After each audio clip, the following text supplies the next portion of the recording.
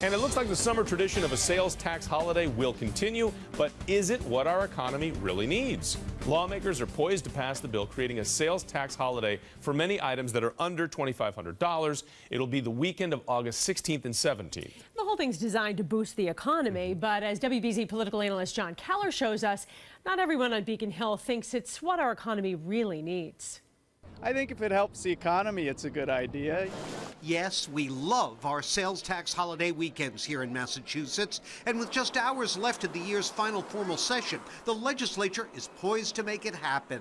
You have to give the public something once in a while, and they really look forward to that. But not everyone agrees with Senate President Terry Murray that a two day tax cut is the kind of economic stimulus our state really needs. There's much better ways that are much more connected to true economic development for everyone across the state. Is that good economic development policy? It is not. It is decidedly not. So, with nearly 200,000 people unemployed here and many businesses struggling to turn a profit, what substantive measures did Beacon Hill take to boost the economy?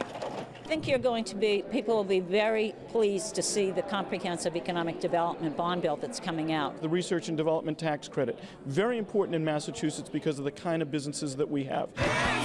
But while it helps key life science and technology sectors, that bill also gives tax breaks to Broadway bound show producers, a sour note to some. I think often, uh, sometimes there are efforts to do gimmick, uh, gimmick efforts, small tax credits, um, and I, I happen to think that that doesn't really generate a lot of economic activity and arguably wastes taxpayer dollars.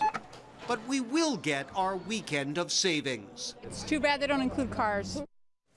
No, it doesn't. And the 20 to 25 million bucks in sales tax revenue the state will lose that weekend is small change in the overall budget picture.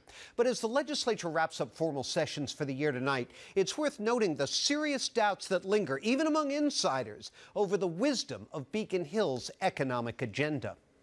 So, among the critics, what do they think the legislature should be doing? Well, just to name a few things that there is bipartisan support for, but not enough to make it happen workman's comp reform, uh, unemployment insurance reform, uh, bringing down energy costs and healthcare costs. Not that they aren't doing anything in those areas, but not enough. Those are big ticket economic stimulus items. Wait a minute, reform?